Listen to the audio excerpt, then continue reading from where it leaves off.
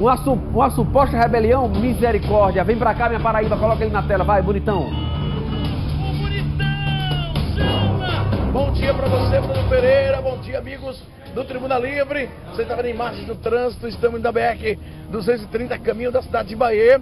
É, princípio de rebeli rebelião na cadeia pública de Bahia. São as informações que nós obtivemos. Estamos a caminho para trazer mais detalhes, mais informações para os amigos do Tribuna Livre. Nesta manhã de terça-feira, coincidentemente, esta rebelião é, iniciada ainda por volta das 4 horas da manhã de hoje, logo após, né, coincidentemente, com as duas importantes prisões realizadas ontem pela equipe da Polícia Militar e Polícia Civil juntos, onde dois homens, que segundo informações serão integrantes de facções criminosas, foram presos e apresentados ontem à noite mesmo na Central de Polícia. Hoje pela manhã, esses dois suspeitos estarão passando por audiência de custódia.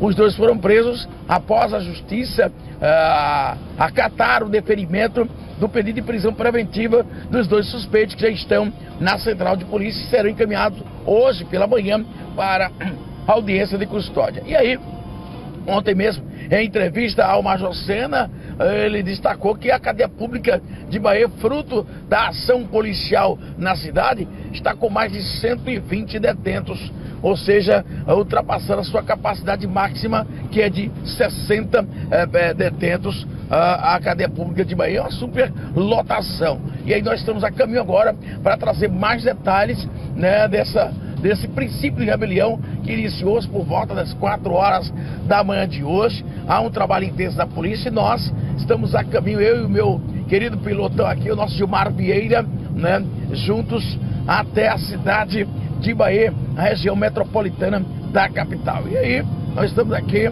acompanhando, mostrando imagem. Trânsito nesse momento, apesar de uh, estar fluindo bem, mas já é, de certo modo, para o horário intenso aqui na BR-230, como você vê nas imagens do nosso Pantera Negra Gilmar Vieira. Portanto, aí Bruno, nos dois sentidos, é, no sentido de quem está indo, vindo para Cabedelo, né? Nós já estamos chegando aqui, subindo é, próximo ao viaduto Governador Ivan Bichara, que é o viaduto de Oitizeiro, conhecido é, viaduto de Oitizeiro, aqui, que passa sobre justamente a BR-101, que dá entrada à cidade de João Pessoa.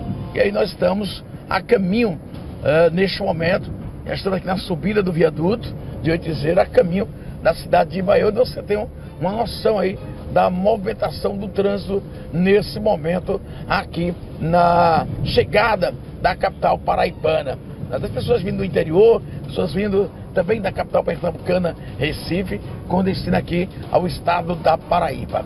Aí, nós estamos é, agora descendo o viaduto com destino à cidade de Bahia, região metropolitana da capital, para saber se a situação está controlada, se ainda há realmente este mundo, o que é que provocou este princípio de rebelião. Faz muito tempo que a Paraíba não registra em nenhuma de suas unidades prisionais qualquer tipo de movimentação né, é, de rebelião, né, de tumulto nos últimos, é, digamos, três anos. Né? A gente não tem esse registro. O último que aconteceu foi ali no Edson Mota, que é o, o, o, o educanda, o, o, local dos reeducandos, né? Tem que ter um certo, senão quem vai preso sou eu, né? Então quem vai preso sou eu. Onde os menores em conflito com a lei estão sendo reeducados. Então, então a gente. Uh, foi o último conflito que nós registramos, foi ali no Edson Mota, onde os menores em conflito com a lei né, estão uh, alojados. Enfim, uh, estamos acompanhando em detalhes e daqui a pouquinho, Bruno, eu volto dentro do Tribunal Livre, ao vivo, da cidade de Bahia, lá do local da cadeia pública da Bahia, de Bahia, que fica situado ali no bairro do SESI, aqui é, na cidade francesa de Bahia. Portanto, daqui a pouco eu volto com mais informações dentro do Tribuna Livre. Olha só, o bonitão está indo para o local. Pesa, Gilmar. Pé embaixo, Gilmar. Vamos chegar para mostrar a informação para a Paraíba inteira. A informação que chega, pessoal, é que está acontecendo uma rebelião. Até então, uma informação não confirmada.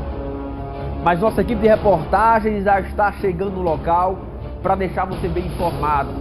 E é como o monitor dizia agora há pouco. Não se tem recente um histórico de rebelião, seja em presídio, seja em centro socioeducativo aqui na Paraíba. O destaque sempre vai ser aquele caso da máxima, né, Presídio de Segurança Máxima, o PB1, aqui em João Pessoa, lá em Mangabeira. Aquilo é histórico. Não sei se até hoje tem gente solta ou foragida, na verdade, daquele presídio. Mas é a história da Paraíba e que possivelmente agora, não em relação à fuga, mas em relação à rebelião, que de fato aqui, eu estou aqui há oito anos, eu não, eu não acompanho uma rebelião da forma que, por exemplo, acontece em Pernambuco. Em Pernambuco, no Aníbal Bruno, se eu não me engano o nome do, do, do, da penitenciária, é rebelião pesada, rebelião de matar gente lá dentro, de tocar fogo no colchão, de só, de só é, é, libertar pessoas, inclusive entre eles, né, agentes penitenciários, policiais penais que são é, é, é, é pegos aí pelos faccionados dentro, dentro dos presídios.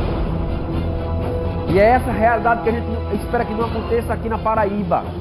Essa é a realidade, sobretudo na cidade de Bahia, que a gente espera que não, espera que não aconteça.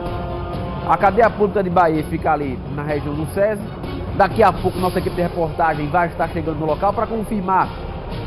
Até então é uma suposição, é uma informação de moradores que ouviram esses relatos de suposto, suposta rebelião agora na cidade de Bahia, na cadeia pública. Pesarão, daqui a pouquinho, hein?